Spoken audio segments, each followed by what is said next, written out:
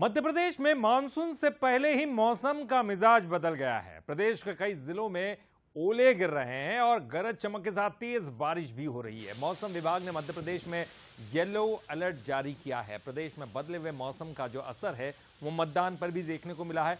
कई मतदान केंद्रों में तेज बारिश के बीच वोटिंग हुई है।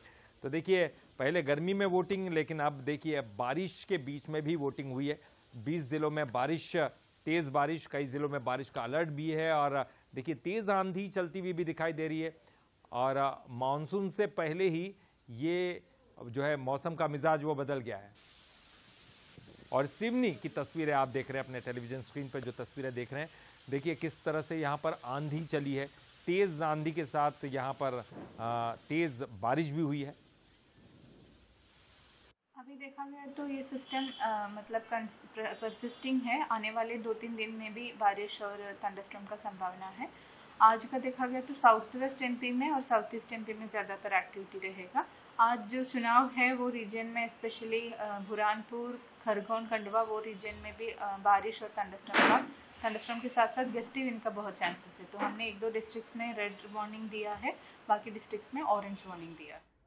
और मौसम के मिजाज का जो नज़ारा है, वो कुछ तस्वीरों के माध्यम से हम दिखाते हैं आपको। और देखिए किस तरह से अलग अलग जगहों पर मौसम का मिजाज बदला, अचानक से भरी गर्मी के बीच में ये प्री मानसून जैसी बारिश यहाँ पर दिखाई दे रही है। इंदौर की तस्वीरें आप देख रहे हैं। देखिए कैसी बारिश हो रही है। झमाझम बारिश, रतलाम में आप तस्वीरें देख रहे हैं। रतलाम में भी बारिश के बीच में जो है वोटिंग का नज़ारा देखने को मिला है। मनावर में आप देख सकते हैं। मनावर में भी बारिश और जगह जगह पानी भर गया। बुरहानपुर की कुछ तस्वीरें अलग नहीं है, लेकिन देखिए, बिल्कुल अंधेरा सा छा गया है। बारिश इस कदर यहाँ पर हुई है और बिजली की चमक भी आप देख रहे हैं। चमक के साथ यहाँ पर बिजली भी गिरी है। मंदसौर की तस्वीरें देखिए। मंदसौर में भी बारिश हुई है। ज़बरदस्त यहाँ पर बारिश हुई है और उसके बीच धार की तस्वीरें भी आप देख पा रहे हैं। लोग, आ रहे जा रहे हैं मतदान करने के लिए आए, लेकिन इसी बीच तेज़ बारिश ने सबको परेशान किया है। शाहजहाँपुर की तस्वीरें, मतदान स्थल के बाहर की तस्वीरें, देखिए, एकदम सन्नाटा सा छा गया। कुछ समय के लिए जब तेज़ बारिश होती है, लोग जो है, दुबक गए आसपास जहाँ भी उनको शेल्टर मिला।